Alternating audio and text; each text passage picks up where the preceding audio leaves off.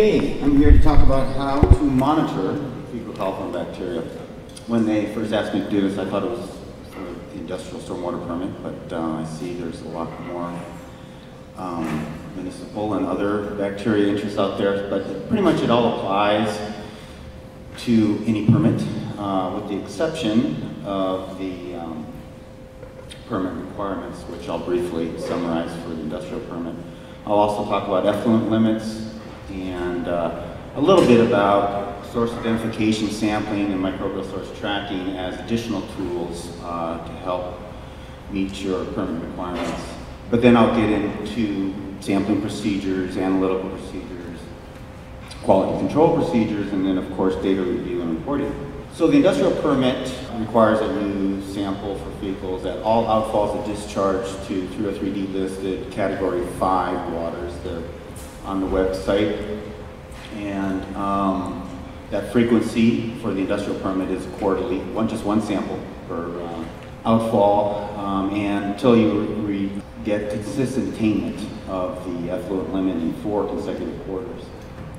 Methodology requires grab sampling for fecals, not uh, composite sampling, generally during business hours and within 12 hours of the uh, start of a discharge. And the method, uh, the permit requires the membrane filter method to be used uh, with a detection limit of 20 colony forming units per 100 milliliters. The method also requires a maximum holding time of only six hours, uh, and it's to be done by a lab, laboratory that's accredited in Washington State for that specific method. Well, the effluent limits for TMDL waters are pretty much the water quality standards shown here. Most our waters, uh, all our waters are classified uh, either by default or specifically as um, by the recreational use category. Most waters are extraordinary primary or primary contact shown in red for your single sample limit. So that's pretty much what your permit is since you're taking a single sample. You have to meet either 100 or 200 in your sample to be in compliance. There is some secondary contact waters, but not many.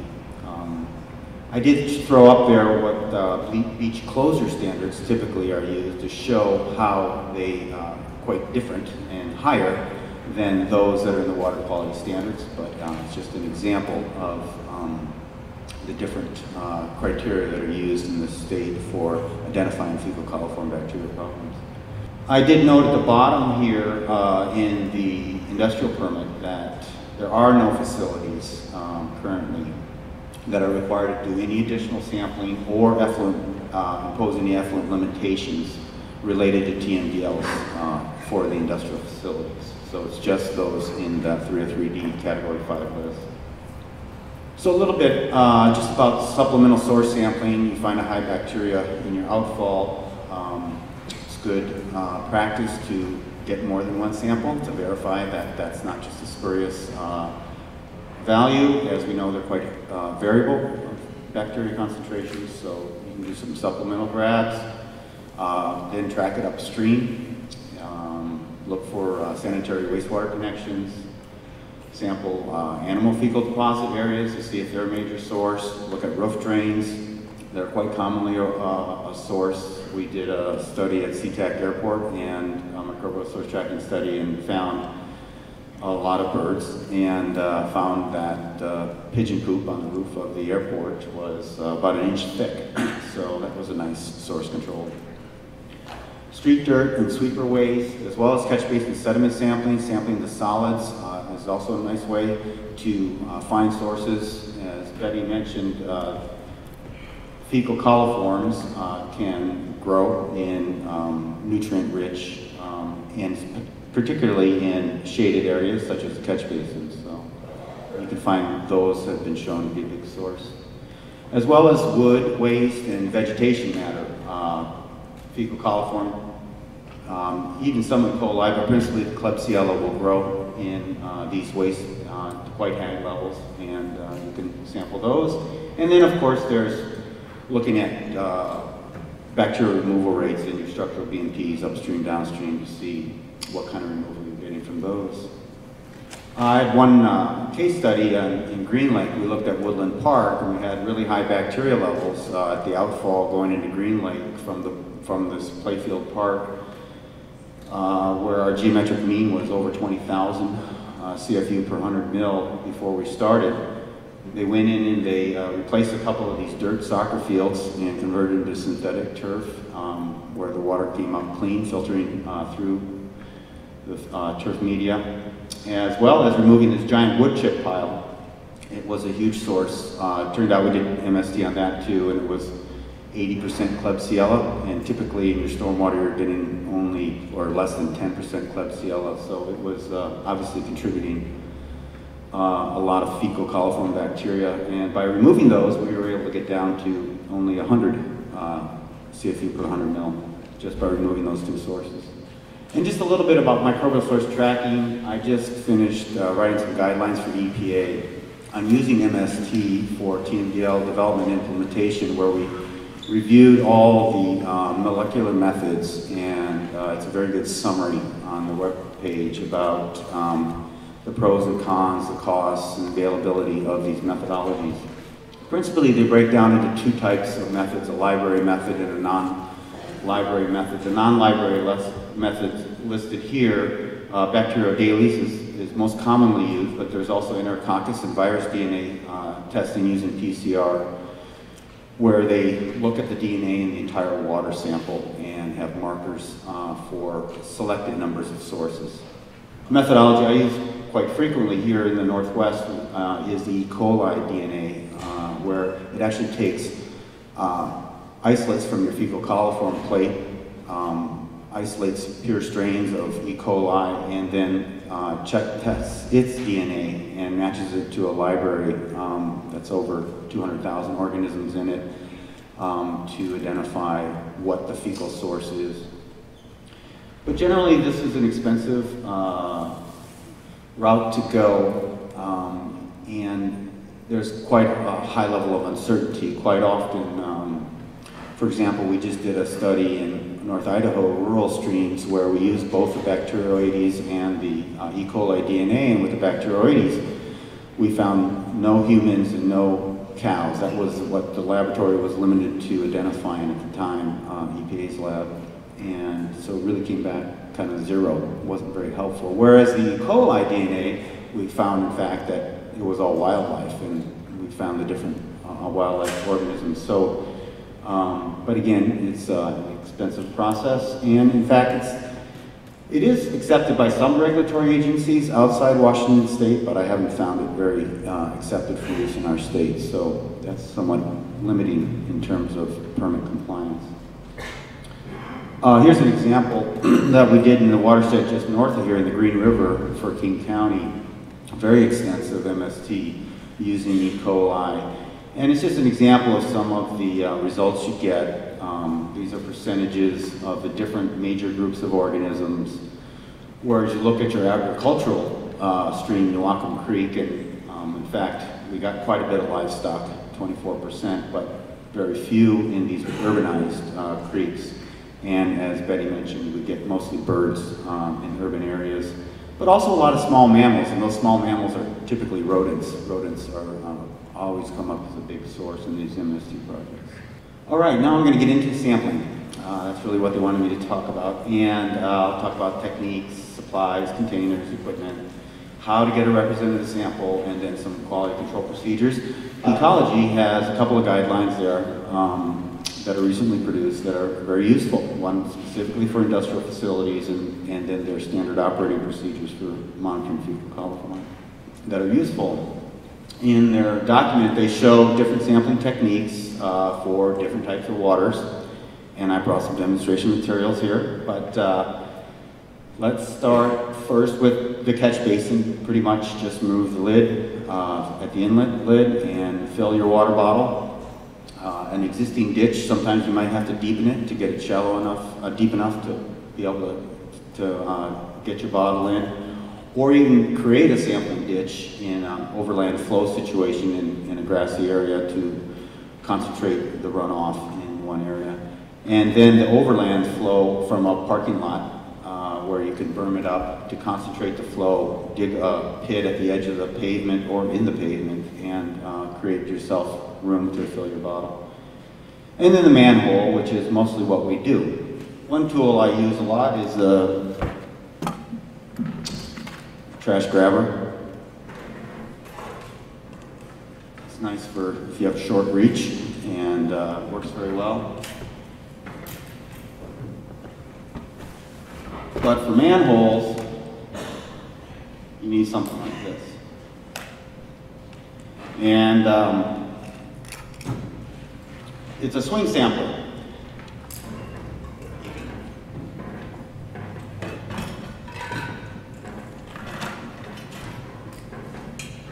And you can put your fecal bottle directly on it, create, use a zip tie that's um, already set to hold that bottle and slip it in there. And what they want you to do is sample uh, upstream so when you lower your hole, you're not dripping down water into the bottle. So go upstream and when it hits the water surface or the bottom, it'll it'll tip over, fill up, sweep it up, and up it comes. You can also use a swing sampler with different bottles. So if you need to do a TPH sample, which uh, pretty much follows the same you have a different uh, class that fits that bottle and it goes. For your sampling supplies, here's a quick list. Basically, you need your containers. Uh, I advise you to pre-label the bottles before you get them wet and bring spares in case you contaminate them or drop them down the manhole. And uh, bring your sampling equipment, some decontamination supplies, um, pen, logbook, cooler with ice, not blue ice, but actually ice cubes to get that sample down to two to six degrees C. Gloves to protect yourself as well as to keep um, from potentially contaminating the outsides of the bottle and then some hand sanitizer all right, sample uh, containers come in all shapes and sizes. Generally, we're looking for a 250 or 500 mil bottle. It can be either glass, as I showed you in that, or polyethylene, um, oh, in that other bottle. So they're autoclaved by the laboratory, they provide them, and they're sterile. You can also purchase sterile bottles online at a supply store, uh, such as the ones um, shown on the left. And or Whirl-Pak bags, such as the ones shown on the bottom right. Um, they're also come sterile. You zip off the top and um, you can fill them up. Whirl-Pak even makes a nice little pole that holds these bags, so you can uh, have a bag holder and use those on a, on a pole specifically made for Whirl-Pak bags. Generally, we don't put preservative in stormwater samples. Uh, ecology recommends to use sodium thiosulfate, which we do for drinking water, but it's uh, to neutralize the chlorine, but that's not what we have a problem for in our, in our stormwater runoff. And um, they even recommend using EDTA to neutralize high metals concentrations, but you have to be over a milligram per liter, and, and that's not what you're going to have to worry about. Okay, now the sampling equipment. Um, which is where I was supposed to be demoing this stuff. Uh, but basically, ideally, you want to fill it directly by hand. That's the uh, most aseptic way of collecting your sample. But uh, you also might want to use that bottle clamp that I showed you, or the swing bottle holder like I showed you. And I mentioned the Whirl-Pak bag on the sampling puller line. Generally, you don't want to use a dipper on a pole uh, because you need to decontaminate that. That's why you want to directly fill into the bottle. But um, in some cases you have to. You're in a uh, storm pipe that the water's only a half an inch or a quarter inch deep. You're not going to be able to fill a water bottle, even if it's a wide mouth bottle. There's still too much, too little depth. So um, with the swing sampler, you can attach a pitcher, uh, such as this. And uh, and you can get quite a bit of volume on there, but you may have to go get uh, successive grabs to uh, bring up and fill your bottle directly. They also uh, don't want you to be using your pump tubing um, because of potential recontamination of the pump tubing, but in some cases you have to. Um, you'll have your inline sampler and you don't have access um, with a dipper. Um, and we'll, we'll use it on occasion. We'll use our automatic samplers and make sure you flush that tubing at least with three volumes uh, of water before you collect your sample and that that tubing you know, has been dedicated to that, that site. Okay, how to collect a represent sample. Basically, you want to collect it in turbulent flow, uh, preferably near mid-channel if you have a wide channel, ditch or stream, and don't disturb the sediment. Um, using aseptic techniques, basically don't let the uh, cap rest on the ground like that and get dirty. If you have to set it down, uh, at least move it up and put it in a clean area and don't touch the, um, the bottle rim. Don't rinse your bottle first. Um, orient your bottle upstream and stand downstream if you're in the channel. Plunge it to mid-depth and sweep it up, leaving about a half an inch of headspace in all your bottles. That's important for the laboratory to mix it up and get a good um, homogenized uh, sample to get a good count. If you do overfill it and you don't have preservative, you can just shake a little bit of water out and then you're good to go. Right that way. Immediately put it in your cooler. It needs to be in the dark, around 4 degrees C. Um, get it, don't let it freeze. Uh, get it to the laboratory within six hours with a chain of custody, uh, requesting that they um, filter it immediately, and of course give them warning. Uh, that helps.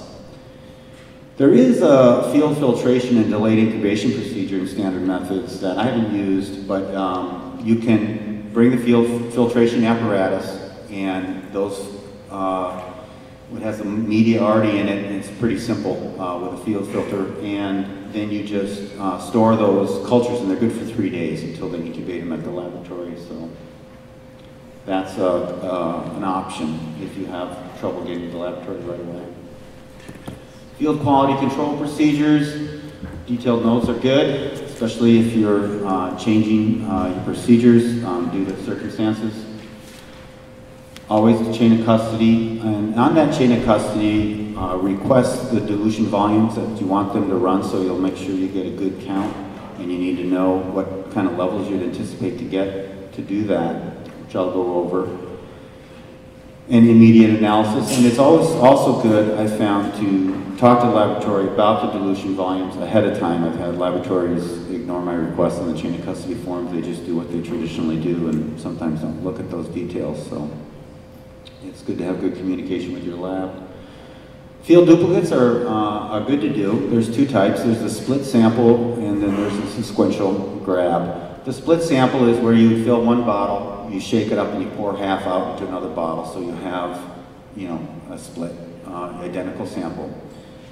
And um, that measures lab precision. Uh, but if you want to look at variability in the water supply in addition to lab precision, you just do sequential grabs. Uh, one uh, equipment decontamination we use, principally just to decontaminate our equipment uh, at the end of the day before we bring it back to the storeroom, is, is to use a 1% bleach solution and with a five minute contact time and then, and then rinse off that bleach. It's really not uh, recommended though to do that in say your sampling apparatus because uh, you have concerns, of, you need to neutralize the chlorine um, and there's concerns about you leaving residual uh, materials. So really, I think just using a, a liquid, an Al Alconox uh, detergent rinse on your equipment is best um, if you're if you're using that to avoid um, potential residual decontaminants. Okay, laboratory procedures. I think I'm getting behind. It's pretty much the membrane filter me method, as Betty talked about, and they will fil filter basically between two and four different volumes of water to be able to capture the range of bacteria that may be in your sample. Um, ideally, uh, the method requires or uh, wants you to count between 20 and 60 colonies on a plate to get the most accurate uh, value. If it's less than 20, there's high variance. Um, in, in the count, higher variance in the count, and over 60, there's uh, crowding issues. Ultimately, though, counts over 200 should not be used because of, of, of the crowding issue. But as you can see in that table, you'll get a total range uh, that will encompass, you know, all, all levels. Typically, we're looking at 10 mils or more for stormwater, 100 mils or for uh, drinking water. But in the ideal range, you'll get some, not- they don't overlap, and you'll get some uh, values that are, are considered to be estimates. Uh, real, two common problems with the membrane filter method is confluent growth. A lot of fungus, in, especially in our stormwater, will just overgrow the entire plate and they can't count anything. Um, or they'll be too numerous to count. There will be over 200 or the colonies will start growing together and you won't get a value. So the laboratory does do quality control procedures. Um, they do positive controls where they, they'll put in uh, known um, quantities of bacteria to show that their media is working basically, and they're required to do that as a method, but they don't routinely report that to you. They will report negative controls, which are essentially just blanks to show that their media is sterile. And uh, they'll also should be uh, doing at least uh, one laboratory duplicate uh, for each batch of samples. It may include your sample or it may not. If you wanted to include your sample, you need to ask them to. And then, of course, your uh, field duplicate uh, results. In general, uh, we like to do at least one field duplicate with every sampling event, or at least every 20 samples if you're not collecting very many each time. And standard methods, uh, the method itself uh, talks more about what quality control procedures. Okay, data review. This is important uh, to look at the data, uh, not just accept the values that the laboratory reports. Um, double check the holding time, and generally that's from collection to delivery. As long as they analyze it, you don't have to go on the clock on exactly when they filtered it. Um, a lower reporting limit is required at less than 20.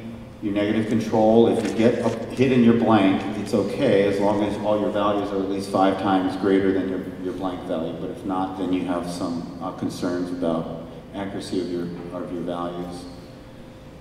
Laboratory duplicates, uh, different people have different relative percent, different goals. Uh, we use a 35% relative percent difference um, as an acceptable objective. Generally, that's similar to the 95% confidence limit of the membrane filter method at a count of 20. Um, but if you have very low counts, you don't want to use the percentage. It's biased. So if you have less than five times your reporting limit in your sample, you should be looking at more like plus or minus two times the reporting limit. And again, look at those raw data calculations, flag data if, um, or correct data if they calculated them wrong, flag data if they don't meet your objectives, and also you can turn uh, too numerous to counts into a, a, greater than value. So you just take, if it's greater than, if too numerous to count, it's greater than 200 at that lowest uh, sample filter volume. And same with the blanks. If you have all uh, non-hits, you can say it's less than your highest dilution volume. Here's a, a recent data review example for a stream uh, that's on base flow. And you can see, yes you can, you can't see very well here, but the values in pink are the ones that we use to uh, calculate the results. In this case, we, we had the lab filter 1, 5, and 50 mils. And in the first five examples, uh, we've got within that ideal range of 20 to 60, and we use that value and they calculated correctly. But then you see with the check marks, and then you see on the right that 1180, where they actually calculated 118. So they actually used uh, the 5 mil value, but used the 50 mil. So that was an incorrect calculation. And then the rest of them are pretty much, the laboratory just picked the highest uh, count value, not using all the counts. So in this next example, uh, 06 and 66, um, you need to add those three values up, divide by the volume of those three uh, filter volumes to calculate the average result. And uh, they can be quite different than what the laboratory reports. Uh, reporting procedures for the permit, uh, put all your sample results on your DMR, include uh, field duplicates, but not any of the other quality control data. I advise to include your data flags to indicate values that are considered estimated, and include geometric means if you do collect more than one, um, and retain all your records. That's it. Questions?